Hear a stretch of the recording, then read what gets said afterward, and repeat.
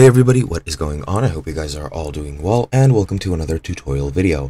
In this video, I'll be explaining to you guys how you can upgrade your Hulu subscription, so let's get right into it. As you can see, I am using this Hulu Help Center article since it is very practical and it does the job perfectly very concise, very clear, and very easy to follow. So let's get right into it. Now, if you have already subscribed to Hulu, you can easily switch your plan uh, or add or remove any add-ons.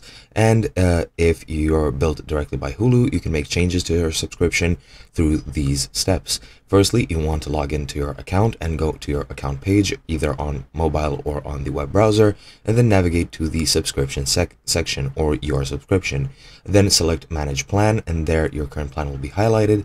To switch to a different plan, just toggle the plan you want from off to on, and that's all you have to do to upgrade to a different plan.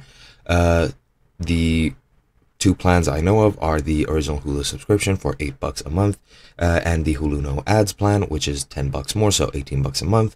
There are Hulu Plus live TV plans as well, and you there are add-ons with Disney Plus.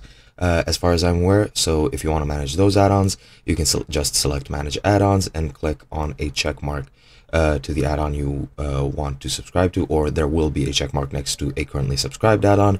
Uh, to add new add-ons, select the plus next to the add-ons you want to add, uh, and or toggle uh, the check mark to an X if you want to remove any of them.